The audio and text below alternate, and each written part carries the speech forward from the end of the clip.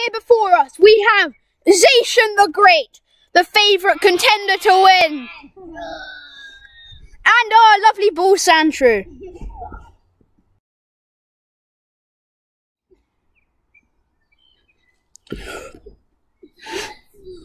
That is victory, boys.